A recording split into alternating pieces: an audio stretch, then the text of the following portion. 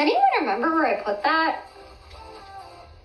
Like I've been using it to like clean my brushes kind of. Where did it go? Does anyone like remember where I put it? You saw I put it down to my right? There's nothing here though. You set it down next to the plushies? Oh, I did! Yeah, thank you. You're right. Oh, what would I do without you guys, right?